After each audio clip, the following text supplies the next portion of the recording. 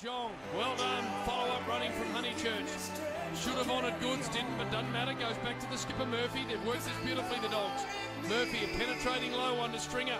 We've seen what this boy can do. Turns rounds inside out. Spindle shooting! Here I go again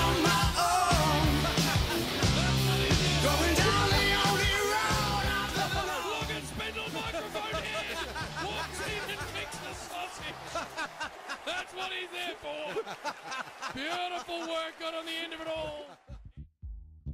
Welcome to Mic on the Mic, a show hosted by none other than former AFL star and cult hero Jared Microphone Head Grant, as he jumps on the mic for a good laugh with some quality guests. On this edition, it's the MP NFL flavour, as JG catches up with some key people around Peninsula footy. First, a Sorrento star pair, former Gold Coast teammate Mitch Hallahan and his brother James Hallahan, the skipper. Followed by a great chat with the new EDS coach, Ben Walker, who gives a great insight into what's going on at the moment. Enjoy. Welcome back to Mic on the Mic. Here we've got the MPNFL flavour. Two characters that probably aren't really liked that well out throughout the league. Um, boys, hopefully you're happy for me to say that. Got the Hallahan brothers, Jim and Mitch. Welcome. What are we calling your show? Mike on the mic. Mike on the mic. What Good to have us, Jazza. what do you I reckon? like it. What are your thoughts? I, I like it, mate. That, that suits your nickname, doesn't it? I reckon it's going better than Mitch's beard. Spindles, come on, mate. Country Road, you, that a little sponsor down there, or Yeah, they've just signed on at the Sharks for, the, for this year. Um, so I hope we can get some footy up and running and we can uh, get their apparel out and out there for you all. oh, so we've got Mercedes, Mercedes and Country Road now. Yeah, Mercedes is the personal sponsor. Okay, mate. Beautiful. And uh, all right, well, we'll get into things. Jim, I wanted to talk to you about your knee, Rico, last year. What round did you do the knee? Eight, nine, ten. It was June. It was just before Queen's birthday, maybe round nine. And then got back. You did your calf before you actually got back, didn't you? Am I correct? yeah. Is my mail correct? that mail is very correct. That microphone hears everything. Jesus. No, I was due to play, I think, the second last round. So after like seven weeks, I was due to play and nick my calf because I probably put on a bit of weight. And so that set me back a week or Obviously two. on, obviously on Mitch's diet those few weeks. yeah, it's no good info. Yeah. So then, what? How many games did you play before the granny? Two, Yeah, last round and the first final. and then grand final. Let's be honest. After half time, no good. The knee, Yeah, no, I was. the knee. Yeah, no, yeah, it was a knee, same knee. I actually, the the doctor and surgeon actually said, had I had an ACL, it was ripped doing that. What what happened in the grounding? So it was what it was. It was just it just blew up, but Yeah. it's all right now. Yeah. So where are you, where are you at now? I was flying, and, now, we're not- and now we're not playing. Oh. Another ominous warning to the to the league. This bloke's stupid, mate. He's been doing 10Ks under half hour, under half an hour. Not no, bad, not bad. That's probably no, look, no, we were going all right. It was all right. Um, I hadn't had a hiccup all preseason. Trained normally. Wasn't on any specific program either. But then, yeah, now I don't know. I don't know what the setback will be. yeah, right. Mm, Well, good on That's you, mate. It's good to see you back out there. thanks, mate. No worries. It's better off with me out there, eh? Pig, I'm moving on to you. I call you the pig. Did I give you the nickname Pig? Uh, yeah, I think it might have been, it might have been you actually. Yeah. Come back after broke my foot. Went home for a couple of weeks. Yeah, he went home and started eating bath water and just got real big. Came back. Rocket wasn't too happy. How many wasn't, was he? AFL games all up? Uh, 27, I think. I don't know. I actually didn't look up the stats. I just wanted. I knew I you'd be able. I knew you'd be able to tell me. 26 or 27. You know, you would know. Oh, I can't remember. Oh, I don't count a few of them. Oh, you could probably. You probably tell us the average disposals in those games if we had to go through it. Quite a few. I got dropped being the leading to disposal getter. You a bit hurt by that, are you, mate? um, so you were at the Hawks basically their premiership years, all three. Uh, I was there for the first two, and then end of 2014 shipped up to the Suns. So, So you were there basically in the, time they beat Fremantle. I was just watching that before actually. They beat. Fremantle. Pardon? Yeah, you were there in a time where basically it was tough to break into. Yeah, real Went up tough. to, That's went up to the Suns under Rocket, tough. Yes. who, as I know, likes players with speed. So you probably landed at the wrong destination. Well, uh, unique times. Jazz I signed and they didn't have a coach, so that was they just sacked Blue McKenna, um, and I had the meeting with the club, and they're like, "Oh, you know, we've got a few candidates, but we're not at liberty to speak about it." So then my manager told me a few names. Rocket wasn't in those few names, and uh, Good information. I think a week later, Rocket signed, and things were good. So that tour, that that tour you got was that the same one I got where we got shown the tin sheds? Yeah, it looked like I was going around my primary school again. I thought I thought my primary school was almost better. Um, and then Uh, it was um yeah, look, it was going from Hawthorn who had going. There's a bit of lag here. It's like, it's like playing COD. Just Wow. lagging a bit, you a bit of a gamer, are you, Jim? He is, he is. Mate, should have seen me the other night. I was killing everyone. Nice to know, mate. Nice to know. no, but 2013 Liston Yes. had a good year. I had a consistent year. Yes. Nice, mate. And then Well, the MPNFL, MPNFL league medal. Yes. So you've got a couple of things in your wardrobe. Box Hill, Yeah, there's a couple of Premiership- medals there. Box Hill Premiership player Yeah, VFL Premiership as and well. and and VFL loss in the Premiership year. Uh, yeah, yeah, we won won 2013 and lost to you in 2014. Um, thought we had you, but by four goals at three quarter time. Ran out of legs, pig. It just couldn't stop the old spindle shanks. Yeah, Eddie Hat was probably a bit big for you, I reckon, that oval. Yeah, square looked a lot bigger than what it is. Jim, you're a real estate agent. Um, tell you what, Instagram's just, you know, just happy with yourself there. You've moved to a White Fox. White Fox, tell us about White Fox. What do you want to know? Well, so you've always been based down the peninsula. Now you've moved out of there. I saw your little video the other day. Yeah, I'm in the big smoke. What do you think of the video first? Video was probably better than this interview so far. Um, We need, a, we need some good production. I, know, I, No, yeah, I, I saw I, I just like to get into the big wide world, mate. I'd, I'd never been anywhere else but the little little Sorrento. so You you're get living pretty up there now. Hey, say that again. You're living up there now, city. Hawthorn, yeah. So you travel? So I just travel to and travel for fro. training. Yeah, travel for training. I've got property for sale down there as well, as well as in Melbourne. So it's sort of the best of both worlds Yeah, scenario. And what's your best? What's the best one on the market at the moment? I can, Give us a I can fit in with the Melbourne crew now just train once a week. Just give us. a What's the biggest one on the market? Uh, four and a half, five in Sorrento. What's your That could be your sign on. That could be your sign on. What's the address? 190 Ocean Beach Road. Bedroom, Sorrento. bathroom. Oh, Jesus. Five bedroom, three bathroom. You should know this. You're an ex real estate agent, mate. North car, facing or? I don't know. yeah, maybe. Geez, you've been, Hey. you haven't sold it to me. you don't have the money. Uh, it's good. Uh, it's good you're still working though, mate, because um, your brother over there is he's on hard times at the moment. Is he? Mate, he's a professional gamer. Uh, I'm thinking about streaming my games. You- what are you going to go into? The one of those Twitch. online gamer. Yeah, man. I, yeah, I saw Mitch Robinson doing the other day. I thought, geez, I might be all right at this. Pig, I'm going to go back to your footy career because I don't think people actually understand, and I've never really spoken about it or, or you know, told you how, how good of a player I actually think you were. Even that year at the Gold Coast, you played 14 games in the best 11 times, had three games at the end of the year, averaged 22 touches, and got delisted. A special player does that. It's pretty ruthless. yeah, and uh, as we both know, it's uh, it's a ruthless industry, and um, uh, I guess some of it comes down to timing, doesn't it? You know, I land at Hawthorn at what has a, been a celebrated era for them, and then move up the Suns, and uh, you know, there at the right time. You know, wrong place, right time t- type thing, or, or what it, whatever it is. I actually probably had the most fun of I, I've ever had in my last year up there, though. Mate, we had some fun that last year, didn't we? Yeah. What happened? ah, we're just training hard, Jim. I, Did they have a breatho at training? There was a few.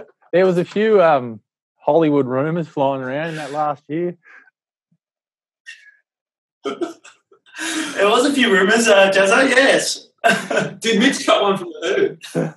We won't go down this path. Um, go back to you, Jim. Graham Yates. Tell me about him. What's he brought to the club? He is a ripper. He's a ripper. He always tells a story of um, turning Joe Green into a top five draft pick. Yep. Just from where you come. Yep. So you know it's good. no, look, he's a ripper.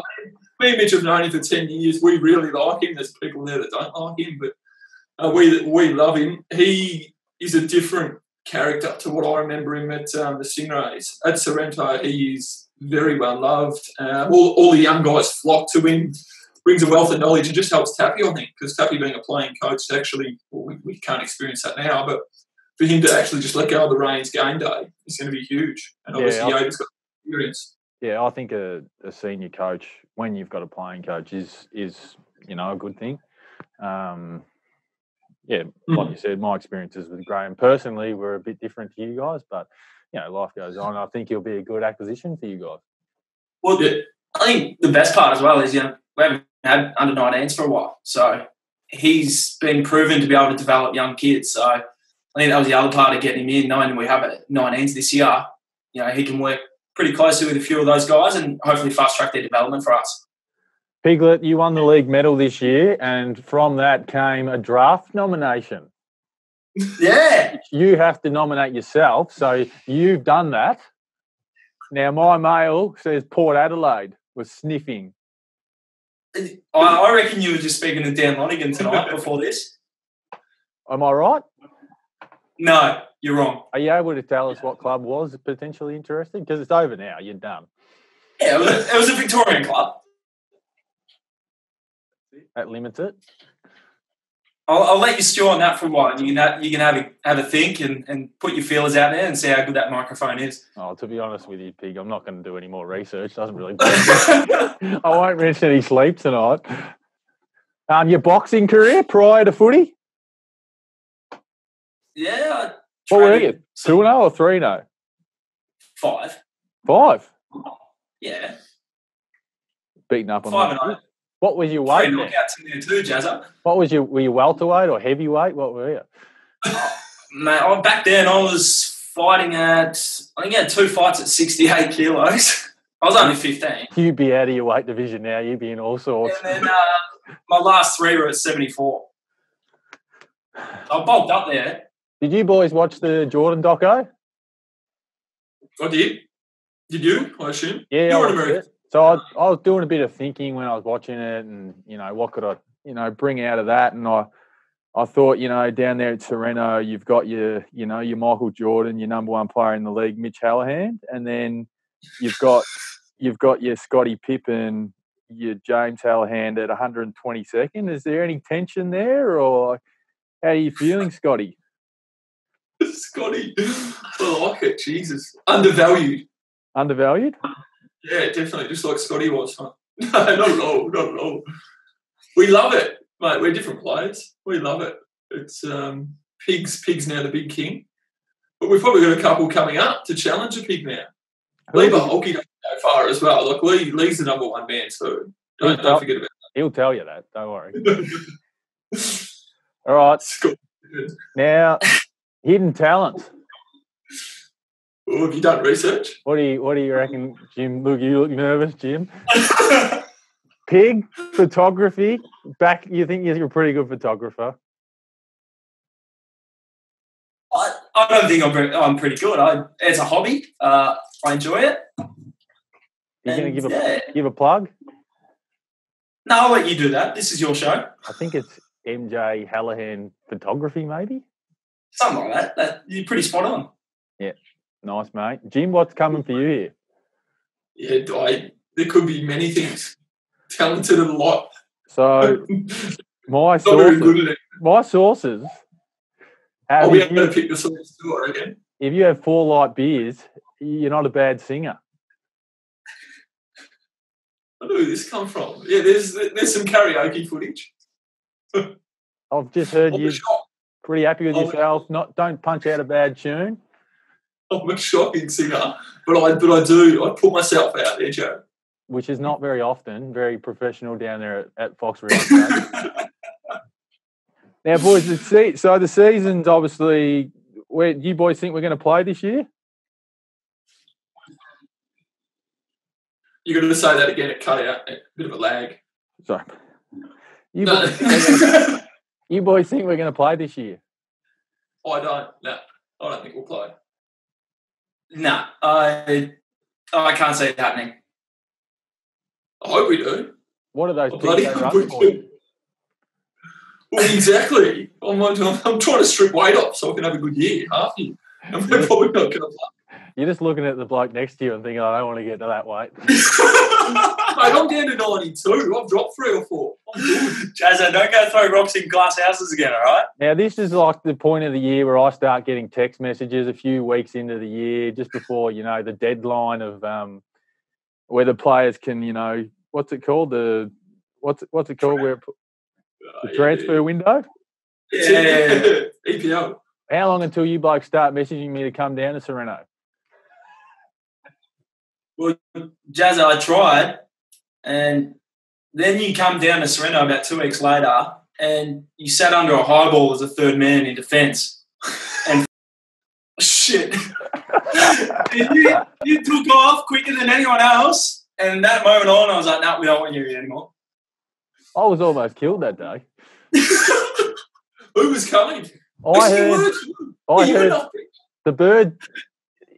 Jim was on the bench that day, and he sent out the message. Grant's toweling us up. Someone knock him out.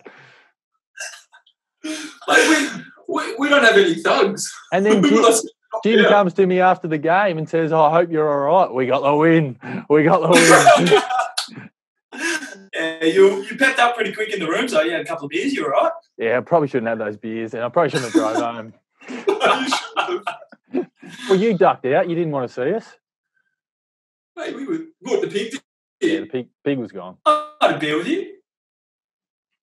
One, I think I bought you that beer too. Respectfully, as you should.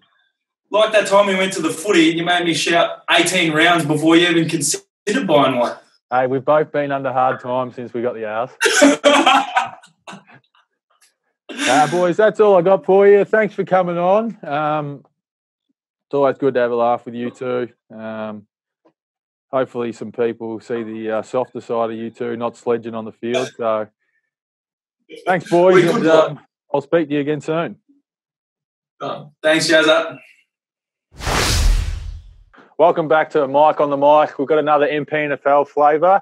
Uh, newly appointed Edithvale Aspendale coach Ben Walker. Walks, welcome. Thanks, Jared. Thanks for having me. Is it is the nickname Walks or what do you get down there? Uh, walks. Uh, a lot of my mates call me Tex for you know the old old school days, but uh, yeah, there are a couple that go around. I'm going to stick with Walks, mate, because I can see I'll just be like, well, what did he tell me the nickname was? So I'm sticking with Walks, mate. Um, congratulations, first of all, on the appointment. Um, tell us a little bit about your coaching career to date. I think you were the, obviously the assistant coach last year and have coached at Sky previously. Yeah, so um, I, I joined up at Sky, or I, I had a lot of my playing career at Edithvale Aspendale um, from a from basically a junior through to a 28 when I left, and I left um, and, and went to Sky as the assistant coach or, or playing assistant coach, and then uh, did that for four years, and then uh, playing coach for four years at Sky. So um, took a year off, and, and then joined back up uh, joined back up at Edie as the assistant last year. So was very excited for the year coming up, but um, obviously we're all in the same boat now.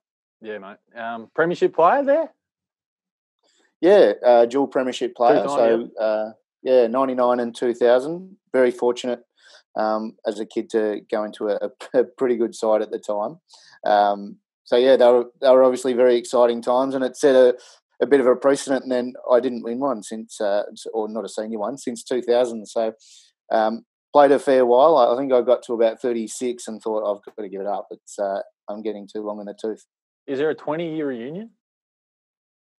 Uh, there was a 20 year reunion last year for And- and one- 99, One this year? and and yeah, we should have been one this year. So we're actually um, EDS is celebrating 100 years of uh, existence this year as well, which again has, has suffered a bit of a blow. But um, yeah, back to back reunion. So last year was pretty good, albeit uh, I was up in the box and then joined the boys when they were um, they were pretty liquored up by the time I got to them. So that was entertaining.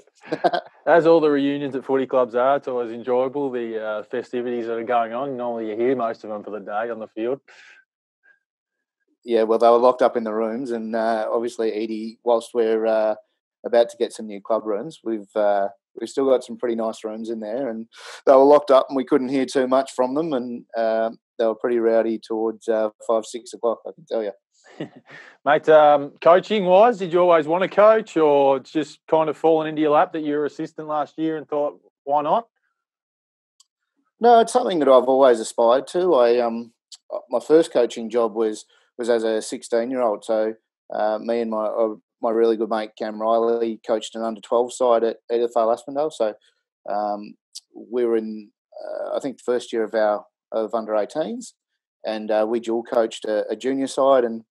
And yeah, so it's always been something that's that's really interested me for, for work. I, I certainly um, have been in the leadership space for, for much of my career, and and managing people. So yeah, it's always been something that I've aspired to do, and um, I think uh, within a footy realm, you can always be a little bit more blunt, a bit more honest, and I think that helps me in my work work career as well. So Yeah, cool.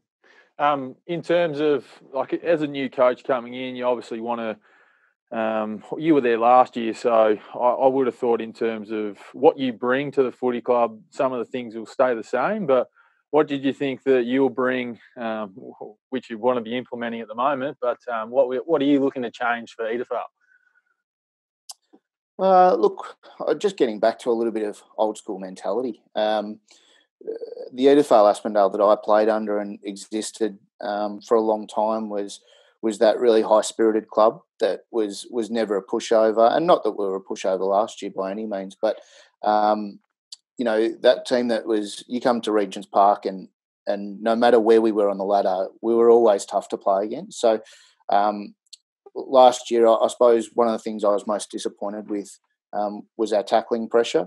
And when you've got the smallest ground in the competition, you would expect that your tackling pressure is is of the highest level. So that's certainly something that um, I'm expecting to see an improvement in. Um, we've worked really hard with Ricky Mirabella, um, who's done. He's really obviously well known around the league, but he's um, been instrumental for us in, in doing some fitness work, and the boys are are absolutely smashing it now. So in in ISO, they're um, they're posting a lot of their runs up on a on a players group, and it's almost become who can um, run the quickest half marathon. Um, I think we're up to about five or six players that have been running 20 k plus um, in a session. So it's been pretty impressive. The boys are pretty driven. Um, so fitness and and I suppose that um, that tackling pressure and and uh, contested footy is certainly something I want to see an improvement in. Yeah, nice, mate. In terms of just following up on that, obviously Rick's doing his program. How's what's your contact like with the group at the moment? Is there anything you're doing in particular?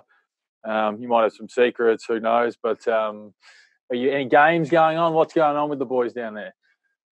No, unofficially, we're actually. I started to play around with a few ideas um, just in the last week or so. But um, the boys have been pretty motivated, and, and Rick's been driving a lot of that, uh, a lot of that fitness work for us. So that's been great. But um, uh, other stuff, we're just doing some tutorial stuff and, and using platforms like Zoom to to run some PowerPoint presentations and, and try and learn some some pretty basic structure sort of things. But th- they'll be great tools for us because obviously with things like this, you can record and watch them later. So um, just to give the players a bit of bit of understanding around uh, where we want them to set up and how we want them to set up in certain certain aspects of the game. So not ideal, but it, it's really you've got to take or, or make the most of the the bad situation, and, and right now it gives us the opportunity to do a little bit more education stuff, and and that's the opportunity we're taking at the moment. Yeah, I definitely agree. Because obviously we're we're looking to implement some new things down at Bombers as well, and um, obviously pre-season, you would have been teaching and learning and whatnot. But um, you know, some of the boys aren't the smartest tools in the shed down at local footy, so you know you've got to get those PowerPoint presentations up for them. well, I uh, I went and bought a drone uh, a few weeks back as well, much to the disgust of the uh, the lovely, um, to just try and fly over the top of us as we're doing a few things. And um, I quickly worked out uh, our footy ground is a bit too close to Moorabbin Airport, so shouldn't really be flying that up and uh, and over the boys, but. Um, and didn't get much of an opportunity before uh, COVID nineteen kicked in. But yeah, certainly trying a few different tactics. We uh, we use a drone at work for some of the audits we do, and um, had that exact problem where some of the sites are too close to the airports and they don't let you fly there. um, recruit wise, mate, um, who did you guys get in this year and, and what did you see them bringing to the footy club? Hopefully this year. Well, hopefully this year. Um, look, we were pretty local this year and we did speak to a lot of people um, about coming down. Um, again, what we were looking to really inject was speed into the side um, a couple of additional midfielders. Um, so they were our first priority, and then um, with big Chris Wiley having a, a, bit of a tragic injury in the finals last year and uh, down at Rosebud, we, we certainly needed a ruckman as well. So um, we've been been really fortunate. Reese Orchard and, and Jackson Stewart, um, who both were at the Stingrays last year, have committed full time to us. Um, both boys are really fit, and, and Jackson did a, a pre-season with Casey. So um, they're both going really well, really fit. Um, and then Anthony Carroll is is a ruckman who we picked up who was at Tarwin last year, but um, played a lot of his footy at Beaumaris. Um, really competitive guy, really fit, um, and just and loves to work hard around the ground. So we're really happy with them. Joel O'Sullivan, um, another boy that's come back to us, was at uh, Mornington last year. So, um, and then we've probably just uh, reinvigorated the passion of a couple of the, the local boys as well.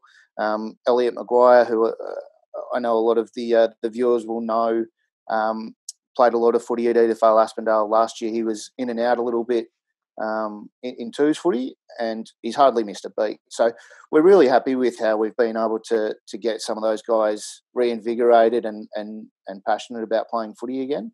So um, you know, Edithvale Aspendale, as per any um, local footy club, really relies on its local talent.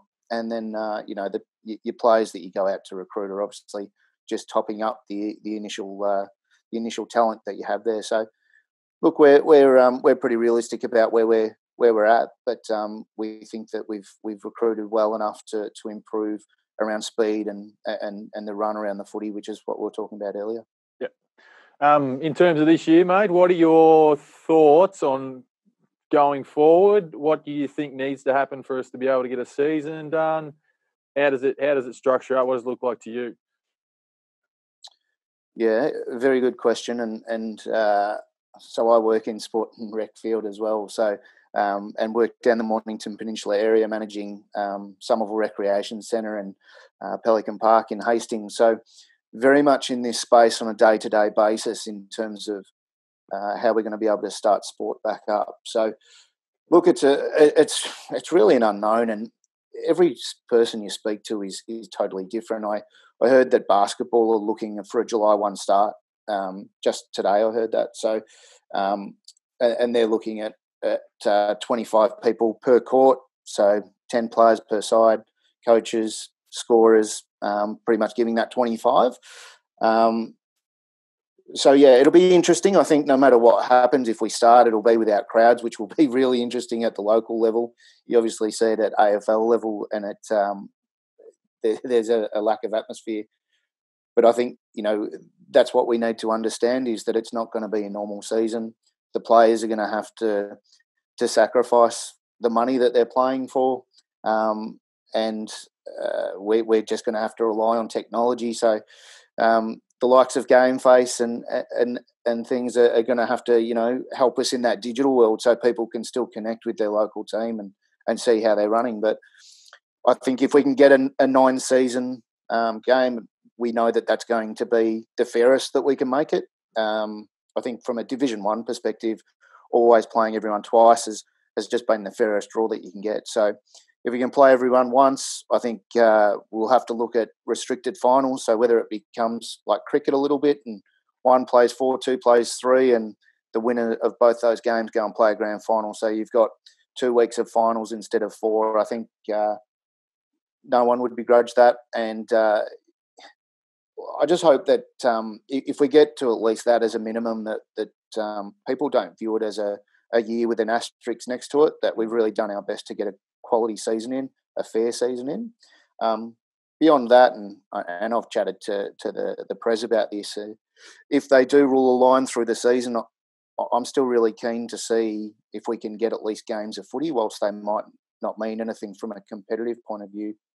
Um, to get at least four or five clubs together and see if we can rotate round and play a bit of a round robin sort of thing. So, and do it over the time that we have available.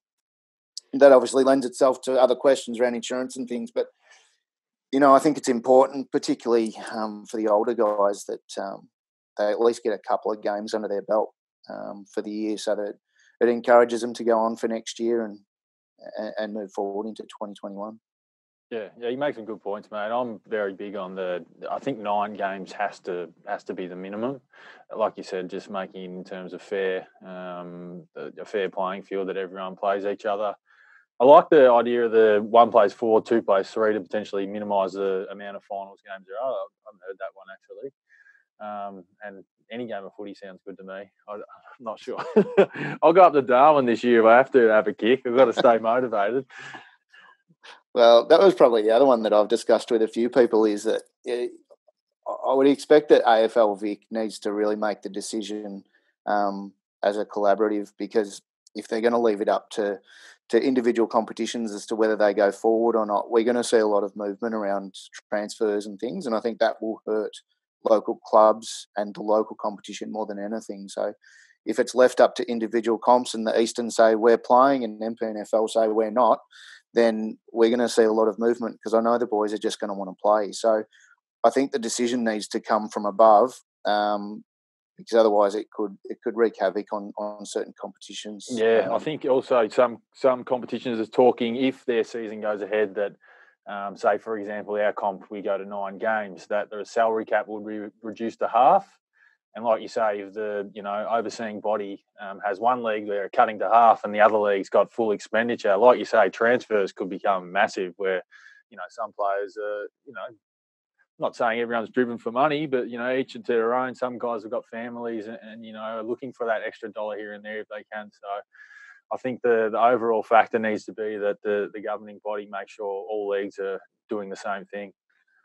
Absolutely, you make a great point, and a lot of people begrudge footballers for being able to be paid for what they do on the weekend, but um, and not to, to tarnish all footballers with the same brush, but if that's what you're great at, then you should be able to earn a living out of it. You know, if you're great at, at accounting, you can earn more money being an accountant. If you're great at footy, you should be able to go out and earn a little bit more money by doing that if you're not the greatest tradesman or you're not the sharp, sharpest tool in the shed. So it's a really good point. I think it's going to be one that, um, you know, it, needs to be fair and it's probably a good opportunity that, that AFL Vic or the AFL in general actually look at um, competitions across the board and say we want to flatten flatten the uh, salary cap across every competition. So yeah, it'll be interesting to see what comes out of it. It's certainly these are the opportunities that they get to take to to make big calls and and uh, and and make the or toe the line from that point forward. So it'll be interesting to see what happens is their chance to make some good changes. Mm. And um, work-wise, mate, you're still working, or what's your situation? I know you said it's the Somerville Recreational Centre. Is that what it's called? Yeah, so we got Somerville Rec. Um, so I work for a, a, group called Belgravia Leisure, who are a management company. So we manage um, recreation facilities on behalf of uh, generally councils. Yep. So uh, we work for Mornington Peninsula Shire, who are a really great partner.